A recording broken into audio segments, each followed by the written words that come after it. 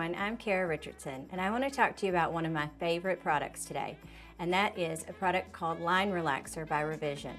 This product is just an at-home way to get rid of some of those pesky wrinkles, especially around the eyes. So, I not only use mine for the eye area, but I also use it for some of these stubborn forehead lines necklines, and even the tiny lines around the mouth that sometimes are difficult to treat with even some of the injectable treatments we do here at Premier. So Line Relaxer is just an enhancer of those Botox injections. It does some of the same things that Botox does, except for it does it much more superficial with a combination of peptides. By allowing that skin to relax on the surface, you get rid of those crepey areas underneath the eye, those teeny tiny lines around the mouth, and even those necklines from looking at our phone too long. Okay, so I do want to go over how to use this product. I tell my patients, you want to pump one pump on the back of the hand.